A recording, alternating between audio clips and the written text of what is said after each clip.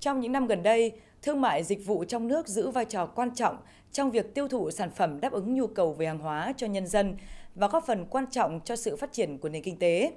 Cùng với đó, chủ trương phát triển thị trường trong nước để kích thích tiêu dùng nội địa được triển khai rộng khắp cả nước đã tạo được những kết quả quan trọng. Tại hội thảo, vai trò của cơ quan quản lý nhà nước và doanh nghiệp trong phát triển thương mại dịch vụ, đại diện vụ thị trường trong nước Bộ Công Thương cho biết, để phát triển thương mại dịch vụ tại các tỉnh trong cả nước thời gian tới, Bộ Công Thương sẽ tiếp tục phối hợp với các địa phương, các bộ ngành triển khai phát triển hạ tầng thương mại theo các quy hoạch có liên quan đã được phê duyệt, đồng thời phối hợp với các bộ ngành liên quan, đặc biệt là Bộ Kế hoạch và Đầu tư, Bộ Tài chính vân vân, hoàn thiện chính sách đẩy mạnh thu hút đầu tư vào lĩnh vực hạ tầng thương mại, nghiên cứu, giả soát sửa đổi bổ sung một số chính sách liên quan nhằm hỗ trợ khuyến khích đầu tư, phát triển hạ tầng thương mại, tăng cường đào tạo, nâng cao chất lượng nguồn nhân lực làm việc trong lĩnh vực phân phối bán lẻ nhằm thúc đẩy hiệu quả hoạt động của các chủ thể kinh doanh.